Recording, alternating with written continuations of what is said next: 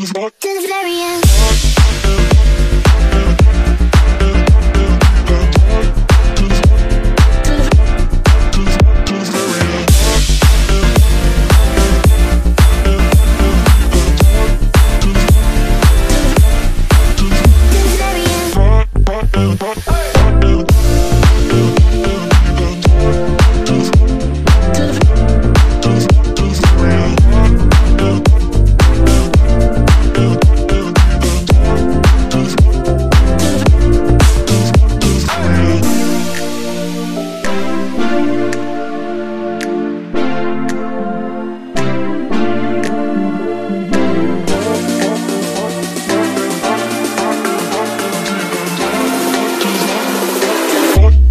she's not Delirious